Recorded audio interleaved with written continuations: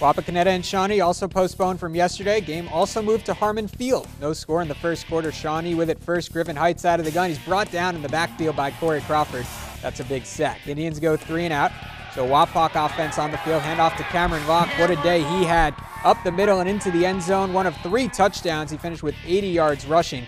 Redskins lead at 7 0. Ensuing Shawnee possession. Heights gets picked off by Drew Vall and he's knocked out of bounds on the near sideline. Turnover has the Redskins in the red zone, and they make it count. Jared Cockerell plows three yards up the gut into the end zone, 14 0 Wapak. Indians trying to get on the board. Handoff to Zachary Casey, picks up six. The ball comes out.